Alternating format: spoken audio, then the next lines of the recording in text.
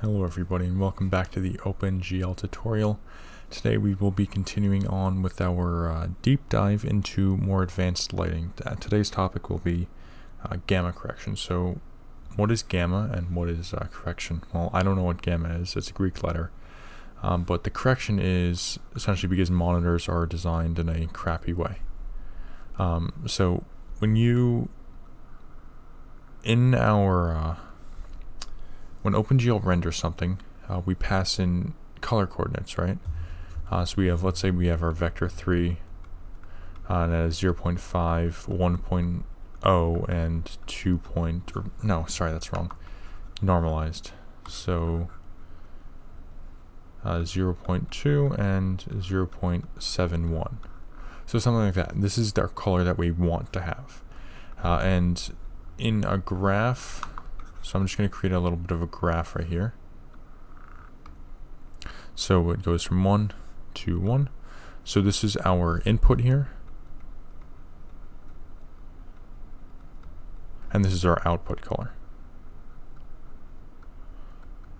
And what we do want, what we expect is that there's a linear mapping from 0, 0 all the way to 1, 1. Ooh, look at that. So yeah, that's our that's our line. Um, and it goes from 0, 0 to 1, 1. And it should be linear. Because if we pass in 0 0.5, we want a 0 0.5. So we'll call this expected function e of x. So e of x, so let's say e of uh, 0 0.5 is equal to 0 0.5. That's what we want. However, what happens with the physical nature of some monitors is that um, they end up having a non-linear mapping. So they have more of an exponential or a quadratic, closer to a quadratic mapping. Um, so it's more like something like this function here. This red function here is the monitor, so m of x. Uh, so this is our monitor.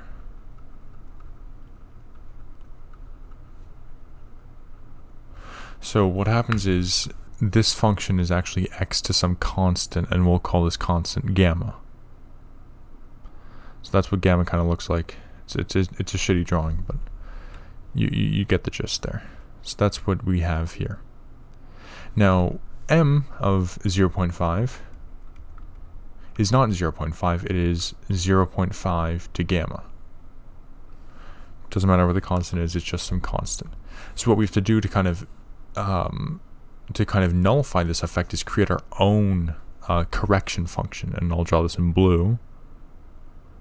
And you see it's kind of the reflection of the monitor's output function across the line, the expected line. So we'll call this C of x. Where C of x, let me just uh, actually so c of x is the uh, correction function. Um, and this is equal to x to the 1 over gamma.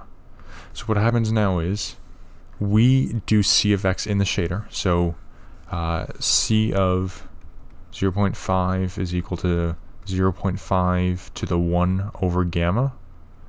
So then when we pass in 0.5 to the 1 over gamma into the monitor, the monitor then outputs a 0.5 to the 1 over gamma, and this results to the gamma. So the two exponents cancel, and we are left with the 0.5, which is what we expect. So the, the functions essentially balance each other out, and we have a correction. Um, so it's pretty, it's actually, it's relatively simple to write this in code. Um, so in our object, in our fragment shader, uh, I'm just going to create another uniform boolean here. So uniform bool use gamma, um, pretty similar to the blinn. Uh, so we're just going to say if uh, use gamma. What we're going to do is we're going to raise each component of our fragment color to the 1 over gamma. So gamma is usually 2.2. Um, that's just a typical value. You can customize it if you want. Um, but for our purposes, we're just going to use 2.2. Um, so the way we're actually going to do this is we're going to take the result color. So the result after we apply all the Blinn Phong lighting, uh, we're going to say result, oops, in the if statement, we're going to say result is equal to, there's a function to raise a vector to a, another vector, but it just raises each component. So pow, and then we're going to say result uh, dot RGB, or we have to say result dot RGB, sorry, is equal to pow of result.rgb and then the vector will be vec3 1.0 divided by 2.2. So this essentially just raises each component to 1 over 2.2, so the 1 over gamma. I'll actually create this as gamma. So float gamma is equal to 2.2. So you see now that the power is 1 over 2.2. Um, and then essentially it just gets added or it gets input to the uh, fragment color and it gets um, applied. So, so now to actually use gamma, um, we have to create another uh, variable log just like we did for Blinn. So it's going to be pretty much the exact same. So um, in scene.process input, we're just going to add another if statement here. So update gamma parameter if necessary. So if keyboard colon colon key went down, glfw key g, variable log at use gamma is equal to not. Variable log at use gamma dot val boolean. Then um, we'll print out a cdc out. Use gamma.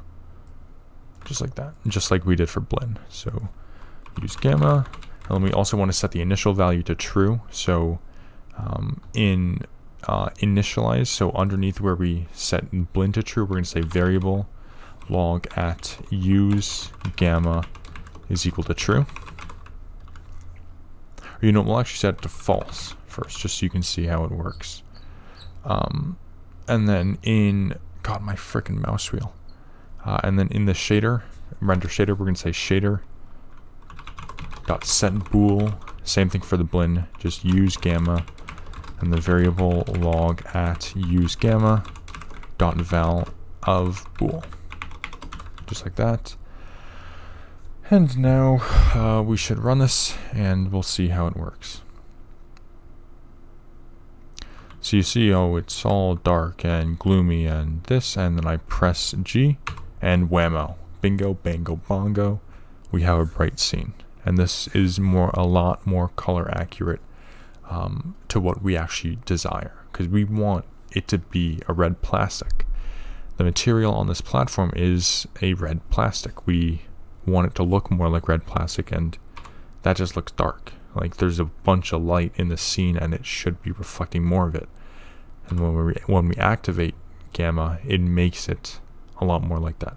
Um, I can also uh, do the turn off Blinn, you see uh, how they combine. So, um, yeah, so you can play around with that. Um, but this is what we will be using by default, so both are activated. I still don't know why there's, there's that ring around uh, the spotlight. I'll have to look into that. Um, but yeah, so this is gamma, and not gamma radiation. No, no, no. This does not give you gamma radiation. Um, if it did, that'd be kind of cool. If monitors just straight up gave you gamma radiation, I, would be that, that that'd be pretty interesting. But anyway, that's gamma gamma radiation. Once again, uh, next uh, video or stream, we'll be doing uh, looking at shadows and shadow mapping. So until then, just take it easy and uh, enjoy yourself. I'll uh, I'll see you later.